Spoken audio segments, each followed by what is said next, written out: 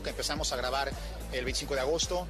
Empezamos una película con Panteleón este, este verano. Voy a estar en Miami, voy a estar en Miami del 8 al 13 de mayo en el Tour Nacional de Chicago, del musical Chicago, en el Adrian, en el Arch, Arch Center.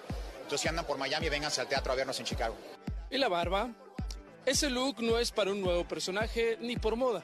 El actor explica. No, es porque estoy en hiatus, en mi descanso de temporada y temporada, y pues estoy siguiendo los pasos de David Letterman. Ya dejarnos barba, porque, pues, porque pues, no sé, pica mucho, ¿no? Es que ya tu, a tu largura ya está bien, ya no te pica tanto. Yo estoy en la transición del pique de me rasuro o no me rasuro y pues, tengo que aguantar. Somos hombres o payasos. Exacto. Televisa Espectáculos, Omar Reyes.